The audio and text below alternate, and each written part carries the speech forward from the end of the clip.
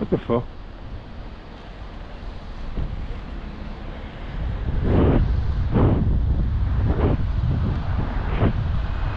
Sorry, man,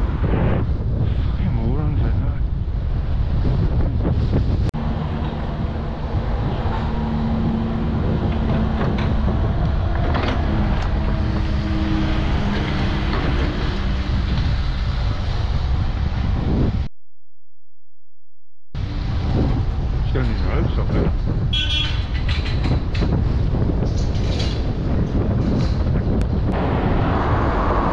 Afternoon. Hi.